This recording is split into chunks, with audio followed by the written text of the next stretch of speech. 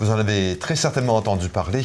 Oui, les élections fédérales ont été déclenchées il y a une semaine déjà. Une semaine pendant lesquelles, bon, bien, on s'entend que les différents partis, quand on parle des libéraux, conservateurs, NPD, Verts, Bloc, euh, Parti populaire, Maxime Bernier et le Bloc sont tous euh, donc euh, en pleine course actuellement. Et justement, pour nous parler de ce début de campagne, mais on reçoit Gaétan Lelièvre, analyste politique. Bienvenue parmi nous, Gaétan. Bonjour, ça fait plaisir. C'est là, c'est presque parti. C'est parti, c'est presque Noël. Il reste quatre semaines et demie. Euh, on s'entend que Là, c'est pas compliqué. Les, les, partis promettent euh, de tout et de n'importe quoi. Euh, c'est le NPD, on est rendu à promettre pratiquement des dents gratuites pour tout le monde. Mais c'est pas ça la question. Aujourd'hui, on te reçoit, c'est parce qu'on s'intéresse davantage aux attentes du Québec par rapport à ces, aux, différents partis. Puis j'ai comme l'impression qu'il y a comme un changement de dynamique euh, par rapport à ce qu'on voyait par, euh, par les élections euh, précédentes. Fait qu'on va, on va aborder un petit peu justement là, les différentes attentes que le Québec pourrait avoir, sachant que c'est la CAQ qui est présentement au pouvoir au Québec. Comment est-ce que tu vois ça?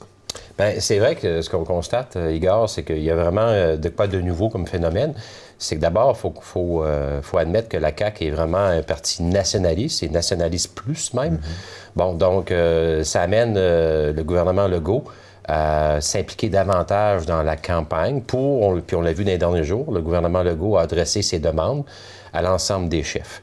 Puis, ce sont des demandes qui sont fortement nationalistes. Mm-hmm. Donc, euh, ça amène tout un impact avec, par exemple, le rôle du Bloc québécois, qui, lui, est là à Ottawa pour défendre les intérêts du Québec, mais en même temps est, est un partenaire de premier plan du gouvernement Legault, qui est aussi un gouvernement nationaliste, même si du côté du Bloc, on est un gouvernement, pas un gouvernement, mais on est un parti souverainiste. Mhm. Donc, il y a des atomes crochus, il y a une complémentarité.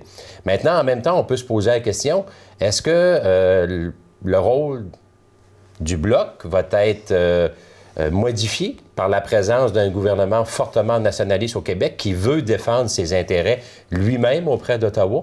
Et on le voit parce que d'ailleurs, euh, euh, une décision du gouvernement Legault très récente fait en sorte qu'on veut réouvrir le bureau, on appelle ça le bureau du Québec à Ottawa. Dans le fond, c'est une mini-ambassade du Québec à Ottawa ce que qui avait été fermée en 2015 mhm. par le gouvernement Couillard. Et là, on veut s'affirmer, on veut prendre notre place, on veut être présent à Ottawa pour défendre les intérêts du Québec du côté du gouvernement Legault. Donc, on réouvre une organisation, une structure qui avait été fermée en 2015.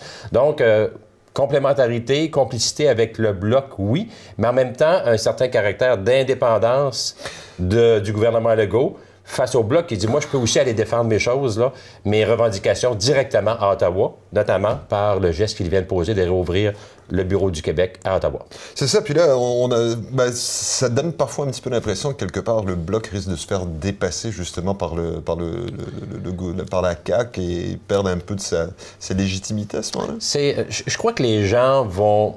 Je ne sais pas si ça va aller jusque-là. Je ne pense pas. Euh, je pense que les gens vont, ceux qui sont des tenants du bloc, les, euh, vont quand même vouloir encore euh, avoir un parti fédéral qui défend spécifiquement les mm-hmm. particularités du Québec à Ottawa. Et en même temps, du fait qu'on travaille en partenariat avec beaucoup d'atomes crochus auprès du gouvernement du Québec, ça peut aussi apparaître comme une team gagnante, une formule gagnante. Donc, c'est nouveau. Hein. C'est la mm-hmm. première fois qu'on voit un gouvernement non pas souverainiste, mais nationaliste plus, je l'appellerais, euh, qui finalement est aux premières loges là, de la défense des intérêts du Québec. Notamment euh, dans le passé, c'était surtout le Parti québécois qui avait mhm. cette responsabilité-là. Mais là, on, a comme un niveau intermédiaire, intermédiaire plus, avec l'arrivée du gouvernement Legault. Ça, le Parti québécois, on dirait bon, donc que, que, le Bloc se rapproche davantage de la, de la CAQ que du Parti québécois, qui était son allié traditionnel. Je crois qu'il y a quand même une alliance très forte, euh, pas je crois, je suis convaincu qu'il y a une alliance très forte entre le Parti québécois et le Bloc, mais ce qui s'ajoute, c'est mhm. un rapprochement euh, fort quand même, significatif, entre le Bloc et également un deuxième parti à Québec qui est, euh, qui est le, euh, la CAQ. Mhm. Puis comment, c'est à ton avis, quand on regarde donc libéraux, conservateurs, NPD, Verts, Parti populaire, Bloc, comment est-ce que tu penses que ces différents partis dans, leur, dans la course présente, comment est-ce qu'ils vont réagir justement aux, aux demandes ou aux revendications du gouvernement Legault. Euh, bon, qu'on pense, euh, bon, euh, Legault dit touchez pas à la loi 21, mettez-vous pas les pattes là-dedans. on pense à l'immigration, on pense à comment est-ce que la, laïcité, ce genre de choses, comment est-ce que comment est-ce que tu vois ça un petit peu? Comment ça, va être quoi la, ben, réponse de chacun? Déjà, on peut voir qu'il y a eu des positionnements dans les derniers jours. Il y en a même qui remontent à plusieurs un peu plus loin. Si on, les prend un par un. Dans le fond, on mhm. a le respect de la loi 21 qui a été amené. On a par rapport à la laïcité, pour Par rapport à la laïcité, exactement, oui. Il y a également la question de la déclaration fiscale unique. Mhm. Il y a également euh, la langue française, hein, où le Québec veut que le Canada fasse un bout de plus à ce niveau-là. Et il y a euh, un accroissement des pouvoirs du Québec en immigration. Mhm. Si on prend les euh, différents éléments, pour ce qui est des pouvoirs en immigration, le Québec veut aller plus loin par exemple, dans l'identification des catégories d'immigrants. On parle d'immigrants investisseurs, immigrants familiales, immigrants réfugiés. Donc, on voudrait que le Québec ait plus de marge de manœuvre pour identifier les catégories d'immigrants qui, éventuellement, viendront au Québec. Mm-hmm. À ce niveau-là, euh, euh, du côté de du Parti conservateur, il y a une ouverture. Du côté du Parti libéral, c'est fermé. Et également du côté du NPD. C'est les derniers positionnements mhm. officiels qu'on a dans, dans les différents bulletins de nouvelles. Du côté de la langue française, la loi 101, dans le fond, ce que M. Legault demande, c'est que euh, le gouvernement fédéral soit assujetti au même titre euh, que toutes les autres entreprises qui ont une charte québécoise. Donc, euh, il y a des secteurs d'intervention, par exemple le transport, mhm. les banques, où ce sont des chartes fédérales, et ces organisations-là, qui sont visées par des chartes fédérales, qui bénéficient de chartes fédérales, ne sont pas visées par la loi 101. M. Legault voudrait que le fédéral accepte d'assujettir à la loi 101 les, les organisations, les, euh, euh, qui sont les entreprises qui sont de charte fédérale. Ça, le NPD, d'ailleurs, a répondu favorablement à ça. Euh, du côté Meeting dit, mais en tout cas, semble dire qu'il y aurait Il y aurait une ouverture à ce niveau-là. Du côté libéral, c'est plus fermé. Mhm. Du côté conservateur, il y a une ouverture également. Donc, on sent que le durcissement, là, la fermeture par rapport aux demandes du Québec est davantage du côté du gouvernement libéral, ce qu'on peut mhm. constater à date. Là, il y a une tangente qui se dégage. Si on regarde les autres éléments, le respect de la loi 21 euh, hein, euh, sur euh, la laïcité. Ben, du côté du gouvernement libéral, ça a été un refus catégorique de, la part de M. Trudeau. Il l'a mentionné à plusieurs reprises dans les, médias. Et du côté conservateur, NPD du Bloc, on est d'accord avec le fait de ne pas s'ingérer, ne pas contester finalement la légitimité là, de la de loi quelque chose qui se passerait strictement au Québec. Oui, exactement. Mais là, on s'entend aussi que, là, on, peut parler de la loi 21, on peut parler de la laïcité, ce genre de choses, mais on se rend compte que euh, jusqu'à un certain point, le fédéral ne sera pas impliqué là-dedans à court terme. Il y a encore beaucoup, beaucoup de, de, de, de tractations, de négociations, de remises en question au Québec même. Euh, je pense qu'il y a un ménage qui va être fait au Québec avant que ça se retrouve euh, devant les instances fédérales, quitte à ce que ça soit contesté euh, en fonction... si on parle de la loi 21, si on parle de la loi 21. Oui, c'est sûr que la loi 21 est une loi extrêmement complexe. Il y a plusieurs niveaux de contestation possibles, effectivement. c'est une loi qui ne s'est pas encore fait les dents, si on veut, dans l'appareil légal et politique encore. Donc, effectivement, un peu comme on l'a vu dernièrement avec la loi sur l'aide médicale à mourir. Ça fait des années que c'est adopté, mais on voit qu'il y a des, des, niveaux de contestation qui, sont, qui étaient potentiellement en place et qui sont en train de se mettre en place. Donc, effectivement, c'est un dossier euh, qui va évoluer, mais déjà, on sent, on voit le positionnement quand même des partis. Sinon, euh, il y a l'autre, euh, un des autres enjeux qui, qui, qui, est soulevé tout le temps, tout le temps, c'est tout ce qui concerne l'environnement. on se rend compte qu'effectivement, surtout avec le passage de Dorian, ce genre de choses, on voit changement climatique, on voit érosion côtière, ce genre de choses.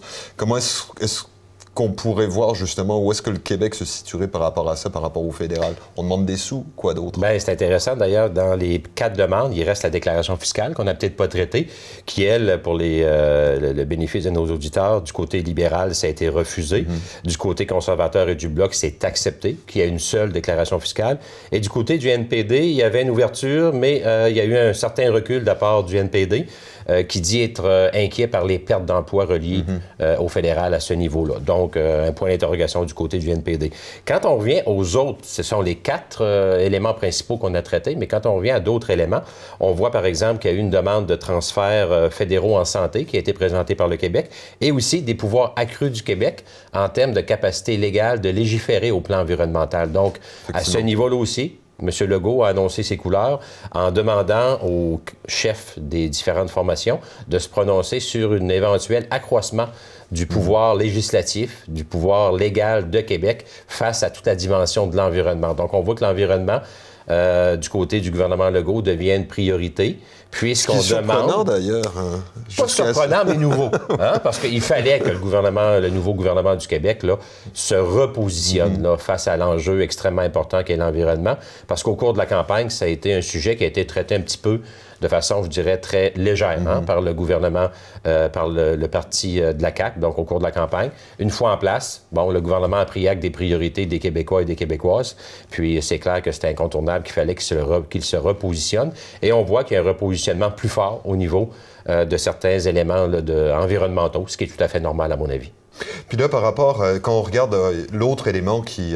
puis là, je vais je débarque dans, avec des questions auxquelles euh, je ne t'avais pas préparé. Euh, si on regarde, par exemple, il y a des, euh, tractations. bon, on s'entend, le Canada, c'est un grand pays. L'Alberta a des besoins, la Colombie-Britannique, et ainsi de suite. Une des grosses questions, c'est tout ce qui concerne l'oléoduc. Là, le, gouvernement de la CAQ veut rien savoir de ça.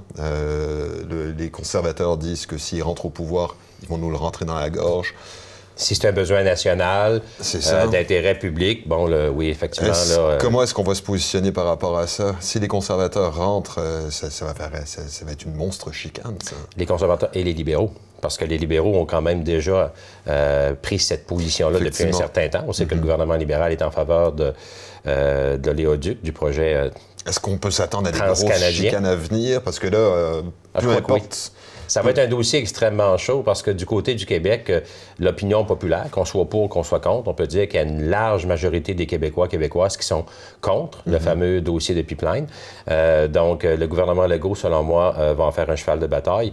Et c'est clair que si c'est un parti euh, qui acquiert euh, le pouvoir et qui veut défendre ce dossier-là. Selon moi, c'est un des dossiers qui va brasser beaucoup, beaucoup du côté du Québec avec euh, le gouvernement Legault en place. C'est compréhensible puisque la majorité hein, des Québécois québécois sont en défaveur de ce dossier-là. Mhm. C'est un dossier qui touche aussi l'aspect environnemental, bien sûr, au-delà de l'aspect économique. Et comme on veut, comme le gouvernement Legault veut sûrement se positionner plus avantageusement au niveau de la défense des projets environnementaux, de toute la question environnementale. Euh, selon moi, ça va être un dossier qui va euh, faire couler beaucoup d'encre.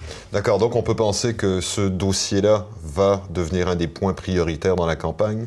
Ça risque de prendre beaucoup de place dans la campagne au cours des prochaines semaines, à mon avis. Et puis, quels seraient les autres dossiers qui sont susceptibles de, justement de pointer leur joli nez? Il y a un dossier qu'on entend beaucoup, euh, tu sais, parce que là, on fait une revue ce matin de la presse nationale. et c'est très, macro, notre émission. Dans les prochaines, s'il y en a d'autres, on tombera dans des enjeux mm-hmm. plus concrets de la mm-hmm. Gaspésie. C'est ce qui m'anime beaucoup.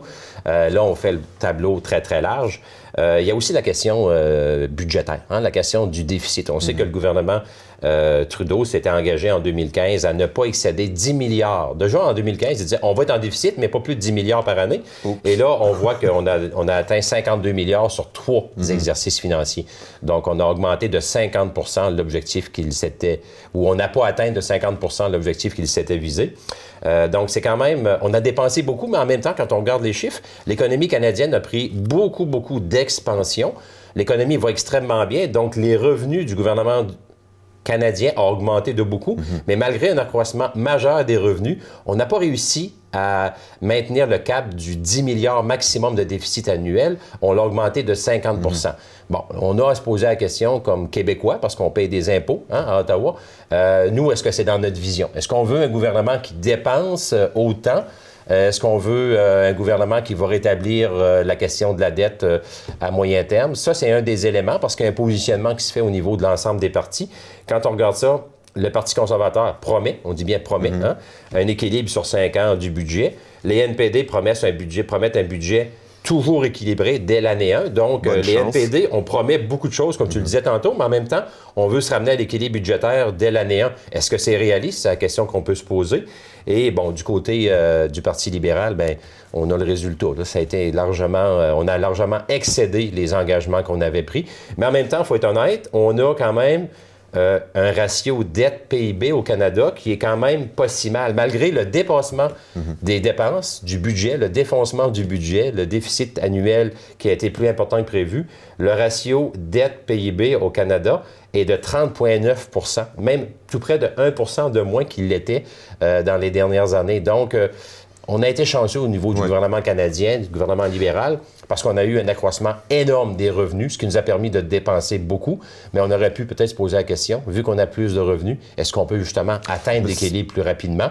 Donc, c'est une question de vision politique. Oui, c'est ça. Euh, Puis on s'entend qu'actuellement, l'économie va bien, euh, mais pour peu qu'elle aille mal, éventuellement, ça va arriver. C'est un peu le problème. Hein. Quand l'économie va bien, les gens pensent moins à l'équilibre budgétaire. Mais s'il y arrivait une récession, une augmentation des taux d'intérêt, etc., ça pourrait être euh, extrêmement catastrophique. Comme le meilleur exemple qui me vient à l'esprit, c'est ce qui s'est passé en Alberta. Euh, lorsque le prix du pétrole allait super bien, on a tout dépensé et du jour au lendemain, on s'est retrouvé comme euh, la cigale alors que l'hiver est venu. Exactement. Gaétan, merci beaucoup. On est obligé d'arrêter là parce que là, on se rend compte qu'on serait, on, pourrait faire des heures là-dessus, mais j'ai bien l'intention qu'on se revoie à plusieurs reprises. on pourrait aller sur des éléments plus concrets qui touchent notre région. Là. Oui, oui, parce que là, on se peut-être plus concernés là, comme Gaspésien, Gaspésienne dans cette aventure politique. Euh, c'est ça, parce que là, on se rend compte qu'il y en a qui vont sortir des lapins du chapeau et il va y avoir des pelures de bananes euh, sur le chemin. Ça fait qu'on va surveiller tout ça. On va se revoir très bientôt. Parfait. Merci.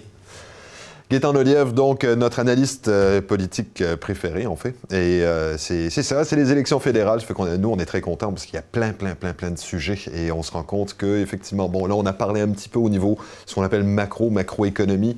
mais au fur et à mesure où la campagne va, va, va, se développer, on va arriver avec des sujets qui vont être de plus en plus pointus et on va en discuter avec Gaétan en ce moment-là.